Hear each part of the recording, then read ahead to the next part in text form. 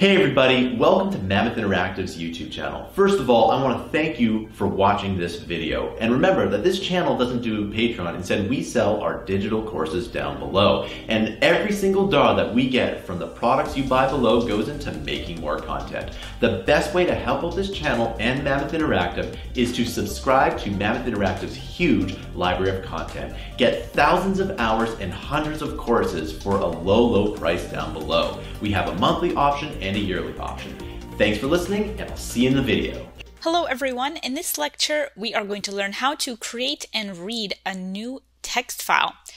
So we're going to learn how to use Python scripting for automation to create a new text file and then to read its contents. Our first step is going to be to open a new file. This can be any text file that we want, whether it exists or not. Let's call this new text file.txt. Then we're going to pass in an argument w to the open function, which means that we're opening the file in write mode, which means we're opening it so that we can edit it. Then let's save a reference to the file by calling this our open file. So now we have a variable we can use to reference the file.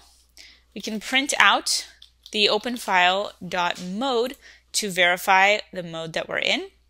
So let's run this code cell and then check out our results. So we get a W returned, which is the W we passed in, which verifies that we are indeed inside of write mode.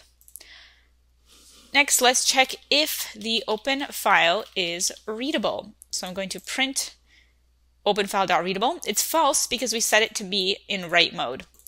Let's check if the open file is writable with openfile.writable and run the code cell. Let's see here, just make sure that you spell writable without the E, so just writable with an A, and you get the message true because we did open the file in write mode. Then we can close our open file by having the close function. So this way we know how we can create a new file. It will be created under our files and called new textfile.txt and we can verify the mode that we're in. Then you want to close the file when you're done with it. Next up, let's go ahead and open this file and let's actually give it some content. So we can call open and then before we close it, we can call here open file dot write lines and pass in some kind of line. In here, you have to pass in a list because we're using the write lines function. So it accepts a list, such as this is my first line. Then we can call open file.close when we're done writing. Then how do we check that the line was actually added to the file? Well, we are going to open the file again. So we are going to call open file equals open and then passing in the name of our file, which is new text file.txt. So we're going to pass in the file name to open, and this time we're opening it in read mode. So if you want to edit the content in the file, you have to open it in write mode. Otherwise, you have to open it in read mode. Then we can get the contents of the file by calling openfile.read. And then we can call openfile.close when we're done. Then we can print out the contents at the end. Okay, so if you get a message that there's a closed file, it just means you have to run all of your code cells again. Because if you run one code cell, then that will execute its code. And if you maybe delete that line like we did and then write new code, well, that previous code cell will still run. So you can just run all your cells from the start. Then you should see this is my first line, which verifies that we've been able to add a line into our text, text file. Other than writing multiple lines, we can also write one line at a time. We can grab the open file and just use the write function to write one line. And we can pass in a message here like this is a second line. Then let's go ahead and run all of our code cells again. And look at that, we get this is my first line followed by this is my second line. Note that by default, all the lines will be added one after the other without any space at the end or without any line breaks. But if you want, you can add a line break with the backslash n. Then if I run my cells again, this time that backslash n, it gets converted into a line break. Now, what if you wanted to add multiple lines at once with write lines? In that case, I'm going to create a list of lines and define that. I'll put in some content here like hello, as well as hi there. So now we have a list of two sentences. Then we can call open file dot write lines, and we can pass in the list of lines. Then we can run all of our code cells again, and you just have to make sure that if you're passing in list of lines, it's already an array, so don't pass it in as an array again. And now you'll see hello and hi there will be added to our content. And again, if you want, you can add a backslash n at the end of each one if you want them to be all on a new line. In that case, you'd have to add a backslash n to every sentence where you wanted to have a line break. You can also use the write lines function directly. So I can call open file dot write lines and I can pass in here a list with multiple strings right here, such as goodbye, followed by a line break, and then bye again. So in this case, I'm just passing in the array of multiple sentences directly. Just be careful with the capitalization. Make sure that write lines is all lowercase. Then you can run all your code cells and look at that. This time we get all of our lines being added. So this verifies that we've been able to write content to our file and then we were able to also read the contents of that file. Hello everyone and welcome back to our course. In this lecture, we are going to learn how to read and write a text file with a loop. So we'll use Python to read a text file and also to write content into a text file. First, let's go ahead and create some lines that we want to put into our text file. So I'm going to create a variable called myLines, and I'm going to initialize an array. Here I'm going to put in a list of strings for each sentence in my text file. I can put something like good morning as one string and add a period, and I can say welcome to this file as another string, and I can add a third string that says this is the end of this part. Okay, so now we have an array. I'm then going to call the open function and I'm going to open up a new text file. And I'm going to call this myfile.txt. Notice that you have to put this into a string, so you have to put it into quotation marks. So I'm just going to wrap the name of the file, including the extension, in double quotation marks. Then we're going to use the A flag and we're going to save this as our open file. Then we're going to loop through each of our lines in my lines. And for each line, we're going to take the open file and we're going to call its write function.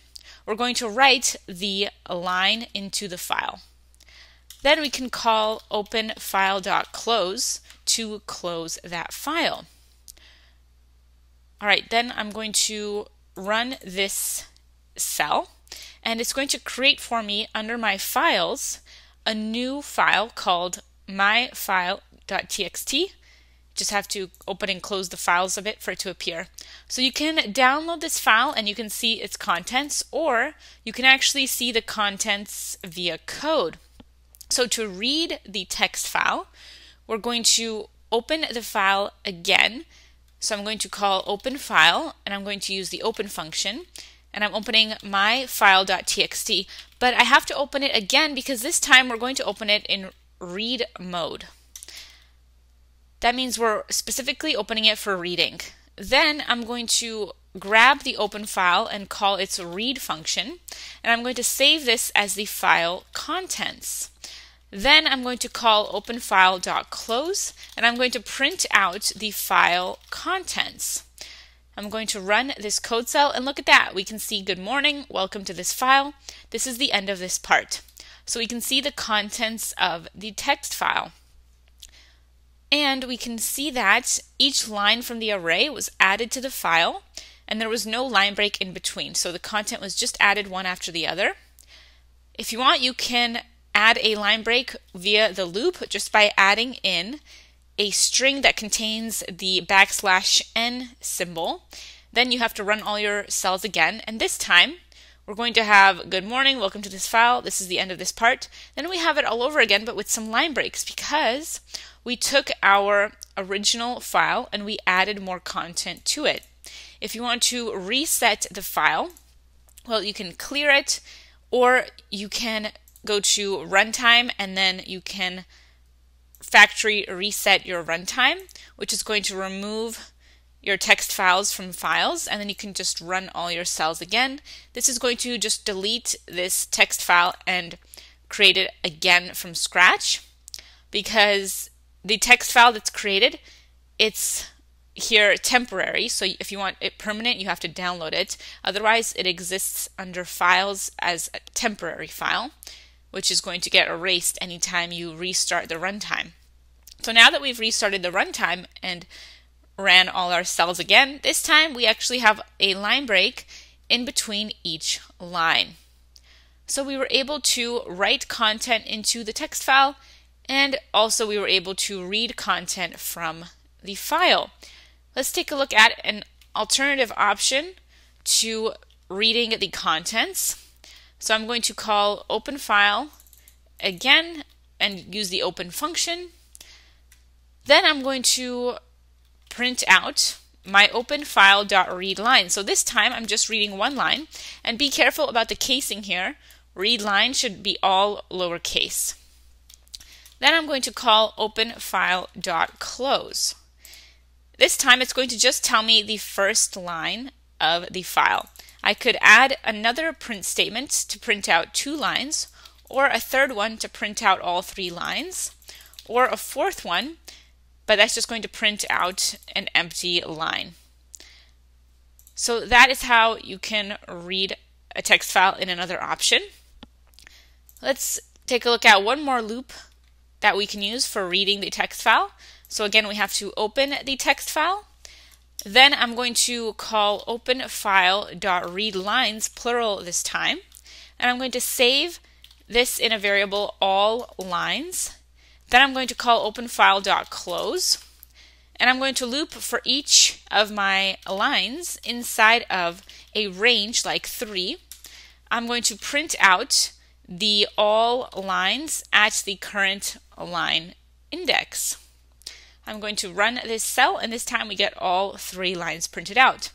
Here we're using the range function to loop through and the range will always begin by default at zero and will end at the maximum excluded.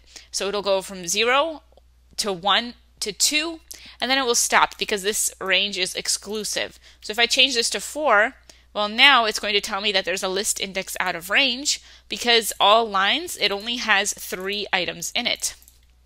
And if I change this to 2, it's only going to print out the first two lines because it's only going to go to index 0 and then index 1 because this maximum is exclusive. It's excluded in the range and index counting begins at 0. So we go to line 0, then we go to line 1, then we go to line 2, and we stop because the maximum is 3. Alright, so that is how you can read and write to a text file with Python.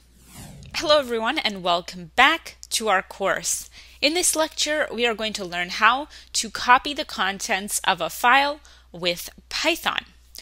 So we're going to create an original file variable and put in a path like slash content slash original.txt.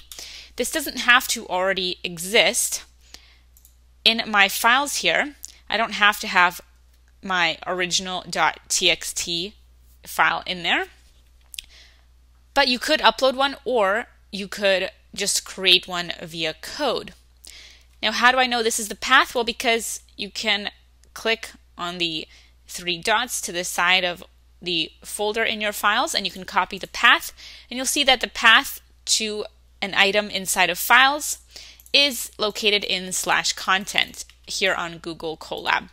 So I'm going to use original.txt as my original file and I want it to have some data because I want to then copy the data. So I'm going to open up the file and I'm going to call this original.txt. I'll open it in write mode and I'm going to save this as my open file. Then I'm going to put some content in there. So I'm going to add some lines, could be just one line, into this file. So I'm going to call open openfile.write, and then I can pass in a line. This is the original line. Then I'm going to close the file by calling openfile.close. And then you can run this code cell and you'll have original.txt now in your content. So now we're going to take that file and we're going to copy it over. So I'm going to create a destination file and specify the path slash content slash destination.txt. It doesn't have to already exist. Then I'm going to copy the content from the original file. So I'm going to call open and I'm opening up my original file and that specifies the location of the file I'm going to open and I'm going to open it in read mode.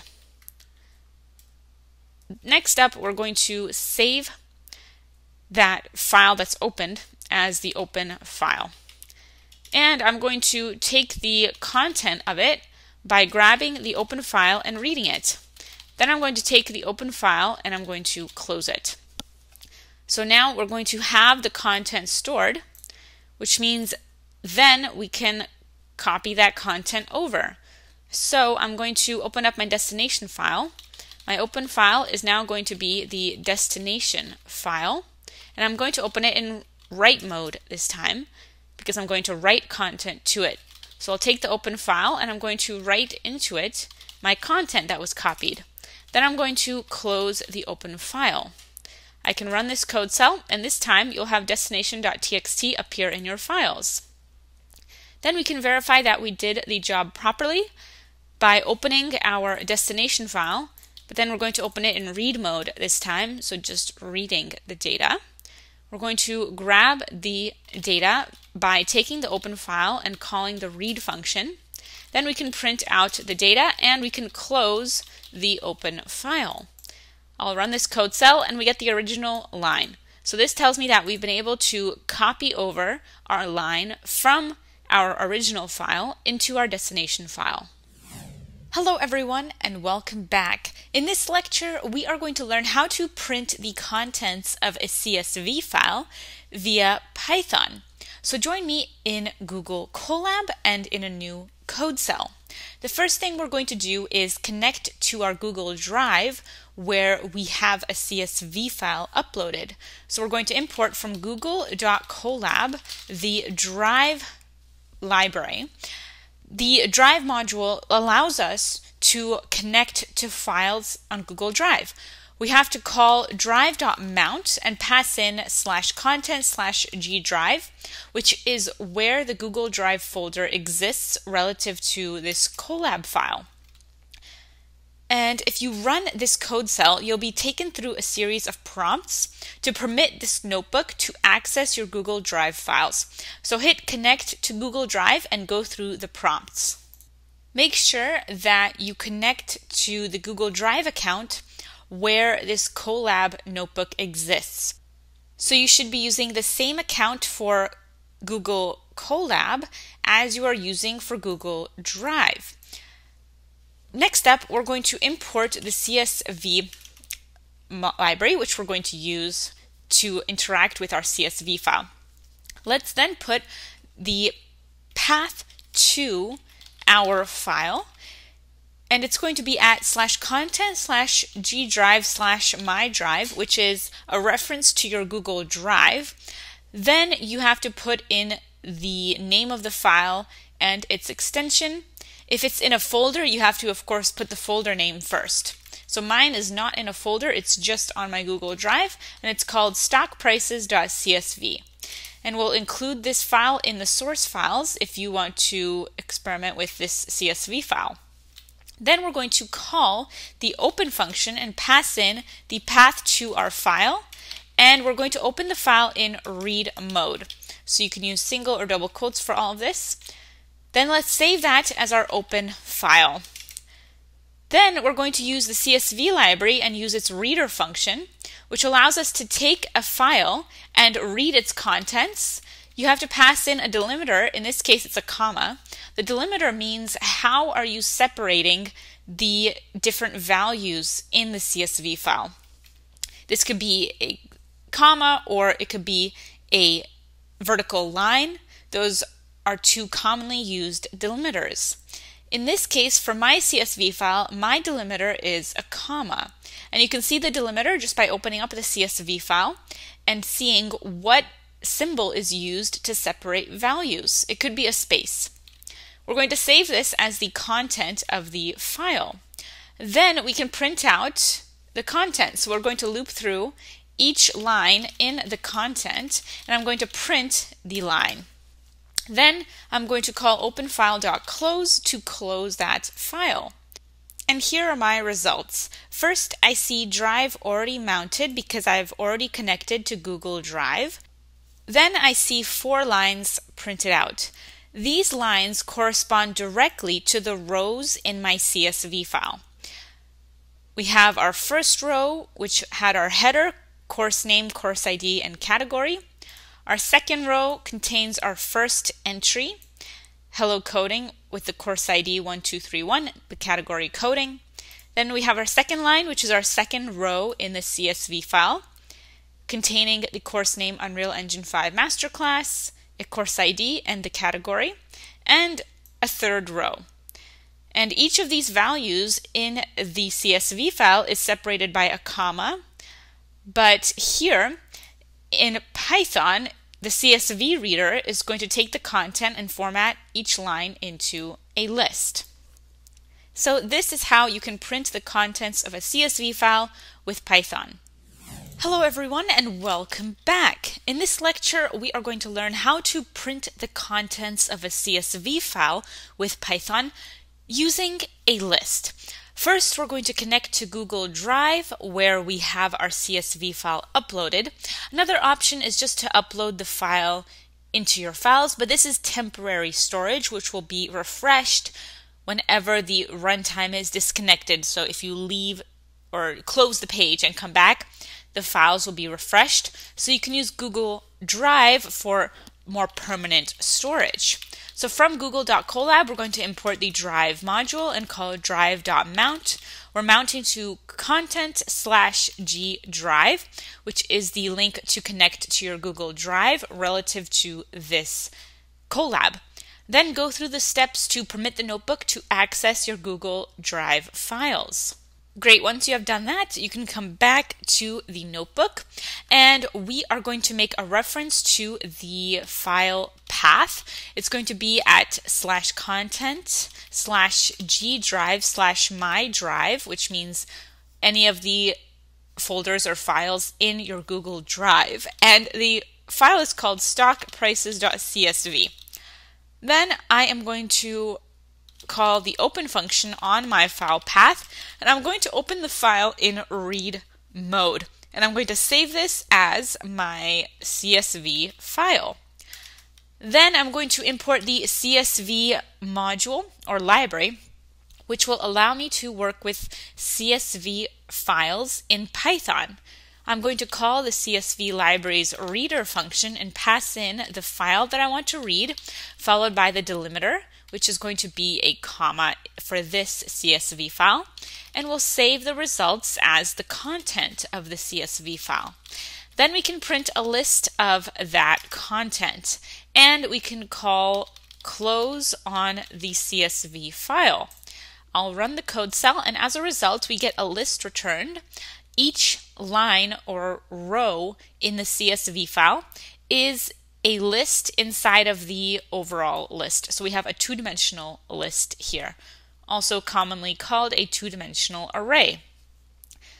So we get our results printed out. So this time, instead of looping through each line in the CSV file, we're just printing all of the lines as a list. So we have a two-dimensional list as the result, which means a list containing lists where each sub-list is a row in the CSV file. And that is how you can print a CSV file's contents with Python as a list. In this lecture, we are going to learn how to use Python to create a new CSV file. So join me in Google Colab and we'll get started. First, we are going to specify the name of the new file that we want to create. So I'm going to make a variable called created file and I'm going to put it into slash content and i will call it new underscore csv dot csv. This slash content is just referring to the files of Google Colab. Then I'm going to call the open function to open the created file in write mode. So we specify a W and a new line will use just an empty string. I'm going to save this as my open file. Then I'm going to import the CSV library and I'm going to call csv.writer. I'm going to write to the open file using a delimiter of a comma. Then I'm going to save this as my CSV writer variable. Then let's create some data to put into the CSV file. We use a list and inside of that, each sublist represents a row. So first we can have here the header that says product, and you can use single or double quotes by the way, it doesn't matter. Product, and let's call this product name, followed by the price and the category. So that represents one row. You can have another row that says hello coding, a price as well. This could be a value and then a category like coding. Then we can have another product name like Python for finance, followed by a price and a category finance. So now we have three rows with one header at the top. In order to put the data into the CSV file, we're going to grab our CSV writer and use the function write rows, passing in our data. Then we can grab the open file and close it. So that is going to create our CSV file and you can see it appear in your files. You can just download it or you can check out its contents via Python. First, you have to open the file and that will be our created file variable. So it's going to be the location to that created file. This time we're opening the file in read mode, not write mode. Then I'm going to grab the content by using csv.reader and to read the open file. The delimiter in the file is a comma. Then we can print out a list of the content and then we can close the open file. And here are our results. We get all three of our values with each value being a row. So we get all three rows represented in the list format. And that is how you can create a CSV file with Python. Hey everyone, thanks for watching this course. If you want to watch the rest of the course, the link is down below. Not only we get the access to this course, but you'll get access to a lot of other courses in a huge bundle, and it's on sale today. So buy it before the sale ends. Thanks for watching, and I'll see you in another video.